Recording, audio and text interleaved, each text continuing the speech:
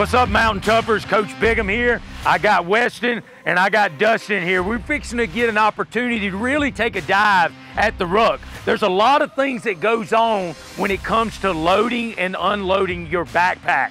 It, if you allow yourself to gen generate any kind of rotational force with the trunk that's not stable, that's your highest risk for injury. So we want to prevent that. So the first thing I want you to look at is you're out there by yourself okay, in the back country, and you want to take your heavy pack that's loaded out anywhere between 80 and 120 pounds, and how do you put it on safely? Okay, so what we like to use is a simple deadlift technique. Our deadlift really allows us to have a stable footing and the ability to do it. What we like to do is, I'm gonna have Dustin go ahead and post that first foot up real tight, center mass on the rucksack itself. So now he's in a position where he can actually brace, hip hinge, and come down and secure the weight. Now, if it's tall like this, and your center strap is a little too high, you might have to come down below. But what I like you to do is to take your dominant hand. So Dustin's right-handed, so we're gonna take the right strap and make it a little tighter.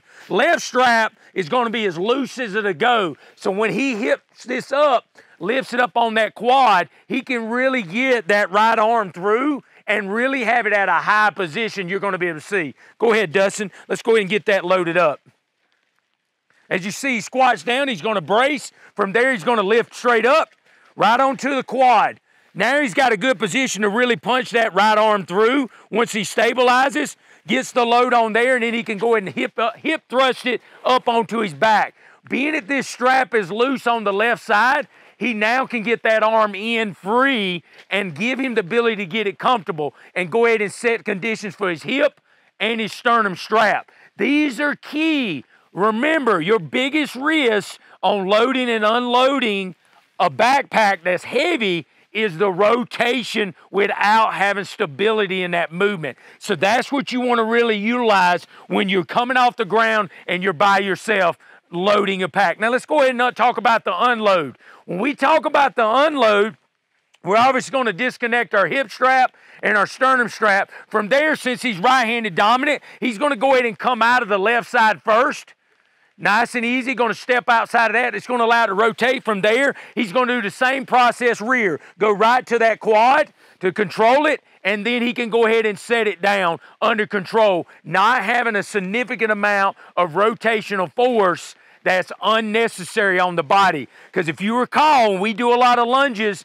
in the back country for our training, we've got to have core stability and we've got to have balance and control with that forward leg. Great job, Dustin.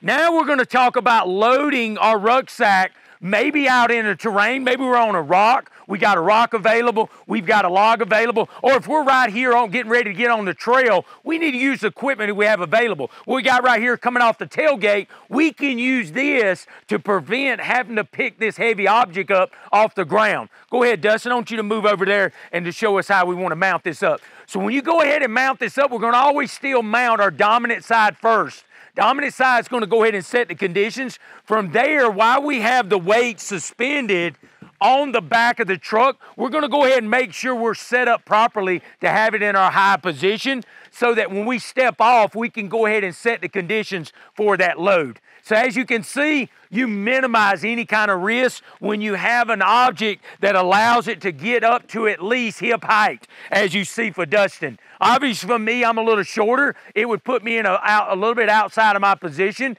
but it would still be a lot safer than me taking it off the ground. Really simple. Same process for loading and unloading, utilizing the terrain that we have available and the resources we have available to minimize that risk when we're loading and unloading our ruck. Great job, Dustin. We're now going to talk about utilizing our rucksack when we have a, a person that's going to be out in the backcountry with us hunting when we work together as buddies, we can allow ourselves to minimize that risk. So what I'm gonna have is Weston move up here to the side to get ready from a center mount position. He's gonna squat down. He's gonna find him some good handles that he needs to get a hold to.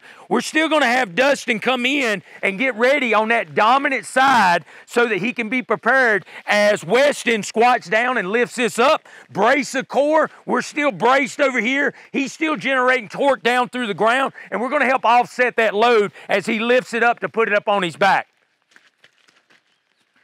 While he's mounting that on, what we like for him to do is to help offset that load on the bottom because the big key when we're putting a ruck on is we need the right height and tensile strength up at the top. When you take that weight off the bottom, Dustin can really cinch that in properly, get the sternum height right, and then offset that weight with his hip belt. So again, if you got somebody out in the back country that you're hunting with, you need to go ahead and utilize that partner safely, utilize that leg drive, utilize the things that you've learned in the lab so that it sets the conditions for you out here in the, in the back country. Great job, fellas.